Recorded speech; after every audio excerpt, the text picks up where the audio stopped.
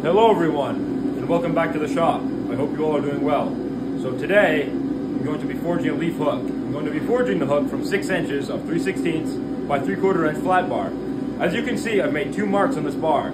The first mark is just 6 inches up from the bottom, but the second mark is so I know where to put the fullers in to separate the stem from the leaf.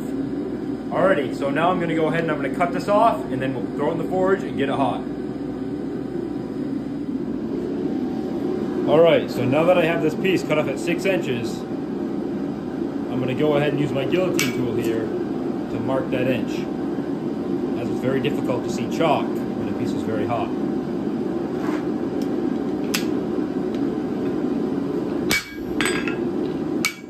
And just like that, it's marked. So I'm going to go ahead and put it in the forge, and then I'll pull it out, and we'll put in those fullers. do a few hits, and flatten it out. Far too fast, and then you go to flatten it out, you can leave cold shuts in the material. You don't want that. Okay, so I got those fullers put in nicely. The next step is going to be to forge down the stem of the leaf.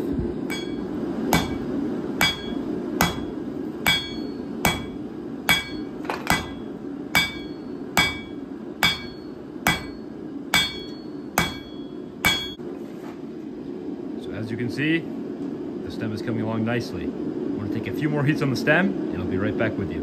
All right, so as you can see, I have the stem forged out nicely, and I'm going to go ahead and start forging out the leaf. All right, so to forge out this leaf, I'm going to go ahead and switch from my rounding hammer to a cross peen hammer.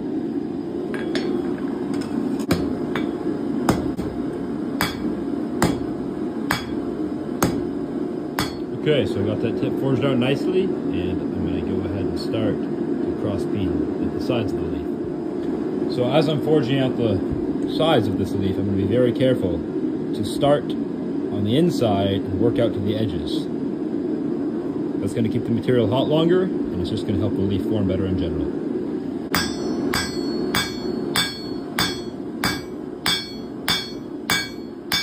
Okay, so now that I have it roughed in with a cross peen hammer, I'm going to go ahead and switch to a rounding hammer to smooth it out.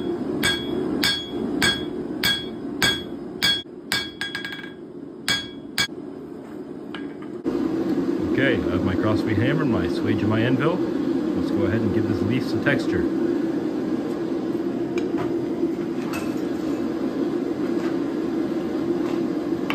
want to make sure that your swage has nice soft corners because if it has sharp corners, then that will leave marks in the face of the leaf and you don't want that.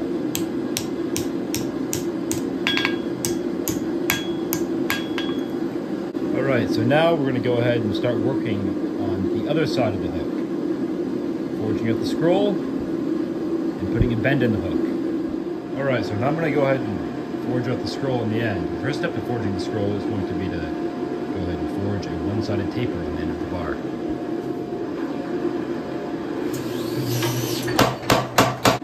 Okay, so now I'm going to go ahead and bend that scroll around. Face the leaf facing up, I'm going to bend that scroll around.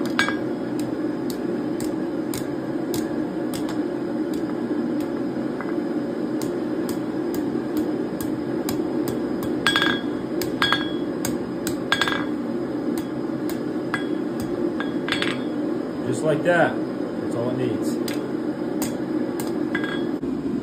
Okay, so to forge the bend in the hook, I'm going to be using a little bending jig that I put in my post vise. It's not completely necessary, but it's very handy if you're going to be making multiple hooks, as it keeps all the bends the same and consistent.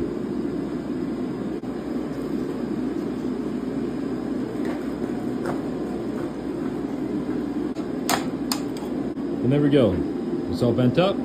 So the next step is going to be to forge out the anchor points for the hook where the screws are going to go in. Okay, so to put these fullers in, I'm going to be using a small ball fuller. It's about three of an inch in diameter.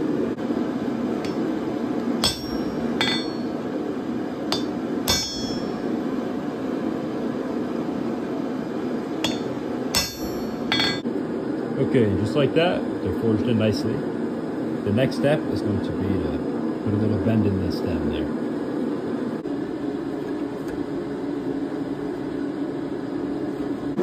Okay, so I wasn't completely happy with the profile of the leaf, so I went over it with my belt grinder and just cleaned up the edges a little bit. So now I'm just going to go ahead and hard brush it up, center punch and drill the holes, put some oil on it, and it'll be done.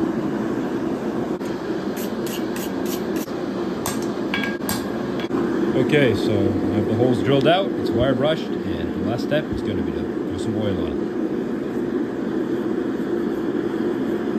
I just use vegetable oil for this. I've used beeswax and linseed oil, but I found this to be very cheap and it's also food safe. Ready? It's all done. I think it turned out very well. If you guys enjoyed the video or learned something, please like, comment, and subscribe. I'll see you in the next one.